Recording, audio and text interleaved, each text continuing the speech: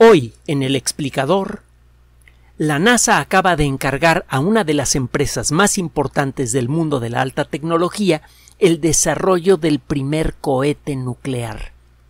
Esto podría acelerar en forma radical la conquista del sistema solar.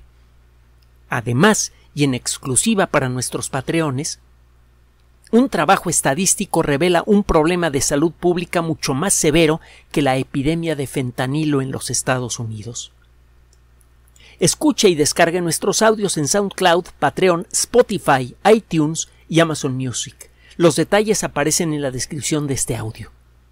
Gracias.